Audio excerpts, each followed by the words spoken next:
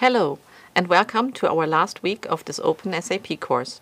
In the previous weeks, you learned based on many system demos how operational processes are seamlessly integrated in financial and management accounting. Many process steps of different business scenarios created a lot of automatic postings. Now we want to deep dive into financial and management accounting. You will learn in this week how to create manual postings in accounting, see how the system supports you in performing financial closing activities, and get to know the most important reports to serve your external and internal stakeholders. We already talked about the main pillars for a company to control their business from a financial perspective.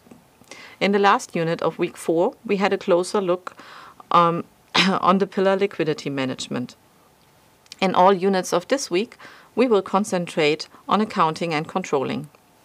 The circle around these two pillars shall express that these two areas are harmonized in SAP Business ByDesign. Contrary to what you may know in some countries like Germany, where these, area, where these areas are often handled as separate valuation areas. As you know the slide from previous sessions, I will just use it for your orientation. This unit will focus on manual postings in accounting. These manual postings create source documents which belong to financial and management accounting, but will not create new entries in the operational business area or in any registers of the cash flow management. Now let's have a closer look on the document flow into accounting. In the past weeks, you have learned that each source document, which has an effect on accounting, is automatically recorded as a journal entry per set of books. It is important to understand that journal entries are always generated automatically, not manually. In some cases, an accountant may need to create manual postings, for example for payroll postings or special reserves. How can he do this in the system? We know that journal entries are always based on source documents. A source document can be an invoice, a payment, a valuation run, or a journal entry voucher.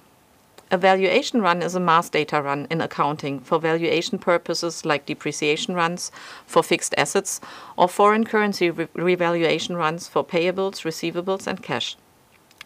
Journal entry vouchers are transactions which are man manually entered in accounting if needed. You can consider a journal entry voucher as a manual posting of journal entries.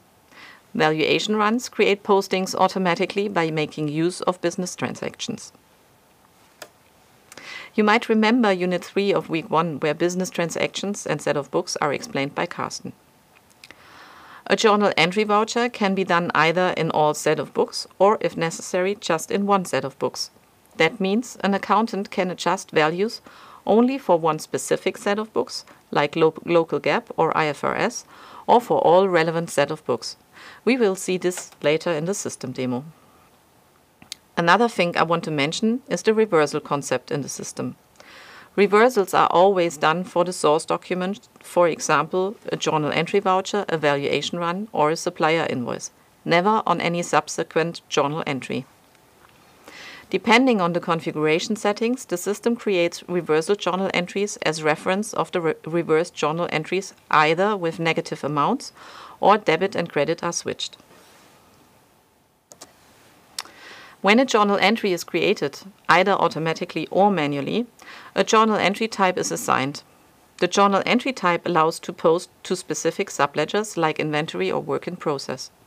The general ledger is always updated simu simultaneously, since only one document is created for both subledger and general ledger in financial accounting. In addition, journal entry types are used to classify uh, journal entries in accounting. If a journal entry is created automatically by a business transaction, the system uses the assigned journal entry type of that business transaction. If an accountant creates a journal entry voucher, he needs to manually, manually select a journal entry type. You can create additional journal entry types to classify your manual postings. For automatically created journal entries, SAP provides pre-configured journal entry types and assigns them already to business transaction types.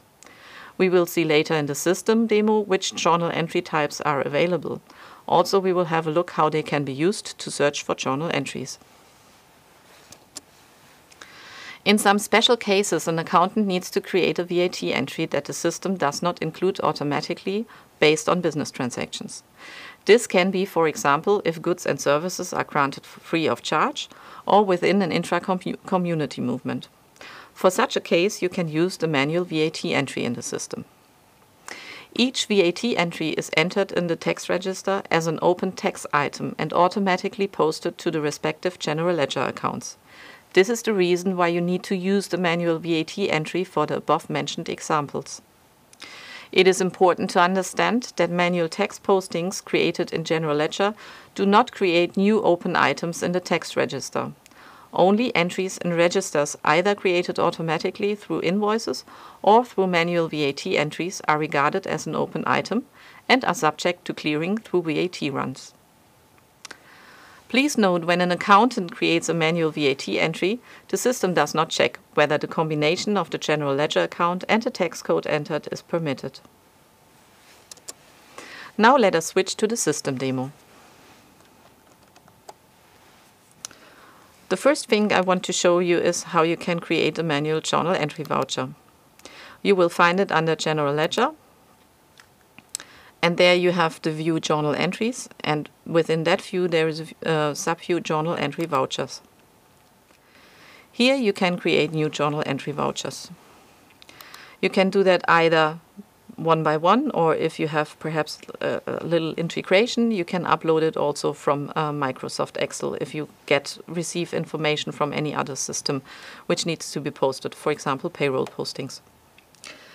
I will do that now here manually here you see the header data of the journal entry voucher, where you have to, of course, uh, define first of all for which company you want to do the posting.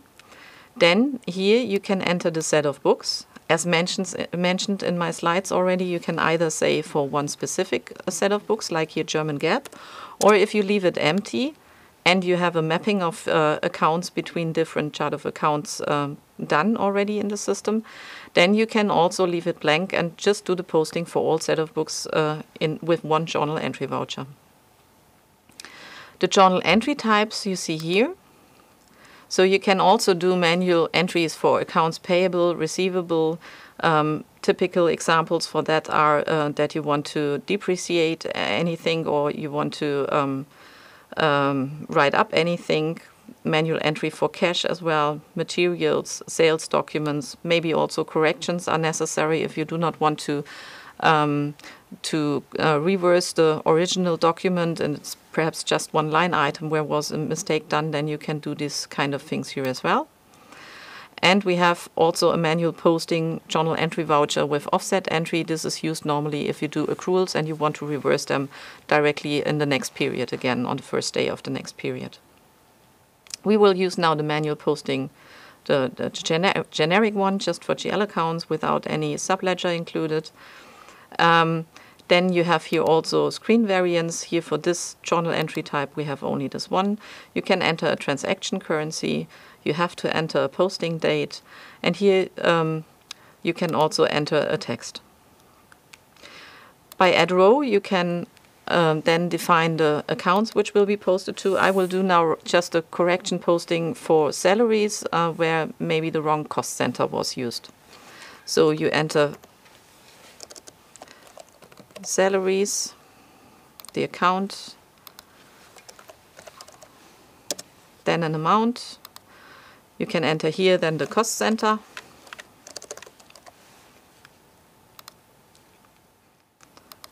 And then you add a second line. You can either search by the GL account number or by the name of the GL account. Also enter a credit amount and a different cost center. You can use here this button simulate to see what the system will do, uh, how the posting will look like. Um, then you get also simulated for the other set of books, um, the journal entries. And you see here also some additional um, determinations, um, which we will discuss a little bit later in, in other units like functional area and profit center. if you go back, you can save the document or post it, and then the journal entries will be created automatically. If you do a refresh, you can see the posting now here in the overview. In addition to this uh, possibility, you can also use recurring journal entry vouchers, uh, normally also for accruals uh, and stuff like that during the financial closing activities. You see here that we have um, some uh, uh, recurring journal entry vouchers available in the system. They are all for uh, payroll postings. And if you click on one of the ideas, you can see the details. So for example, you can see how's the recurrence done. It's done on every month on the 25th from the 1st of January 2013 to 2017, end of this year.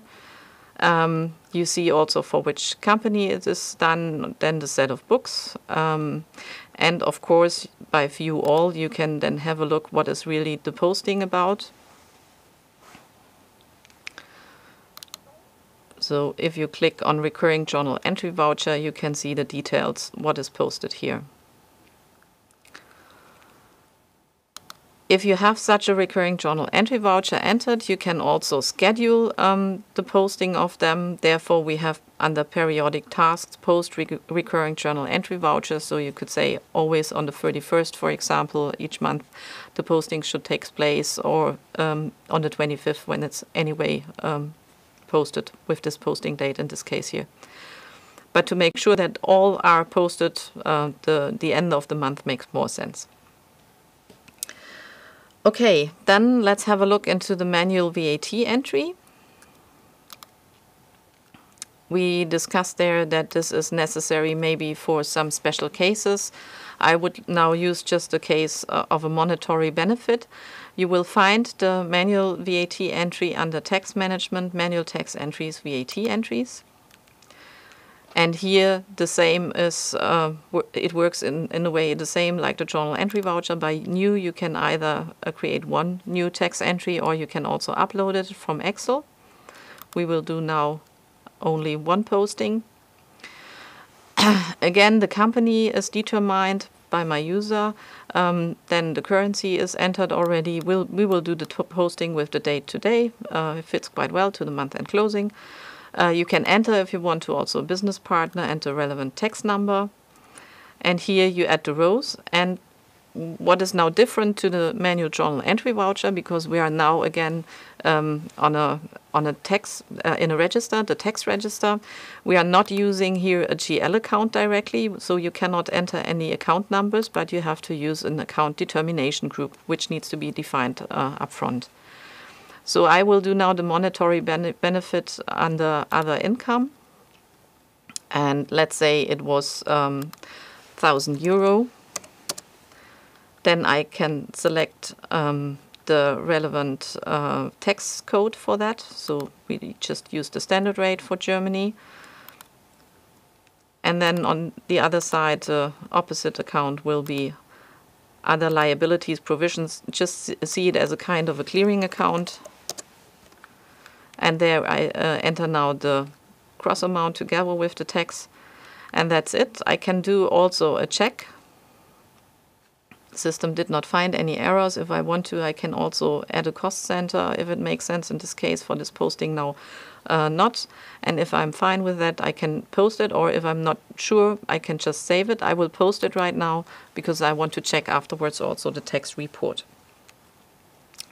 So if I refresh that right now, uh, in preparation, sorry, I have to use then a different selection. Then you see here uh, that it was posted 31st of January.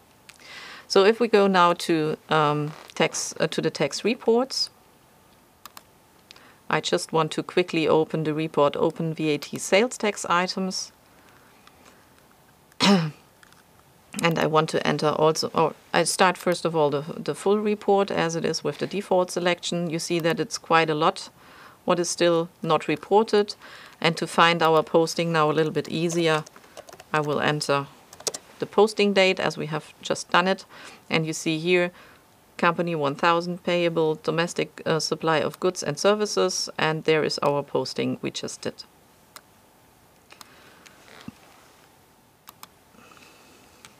Now I just want to show you also by a report in General Ledger how you can also search for uh, journal entries um, by a specific journal entry type.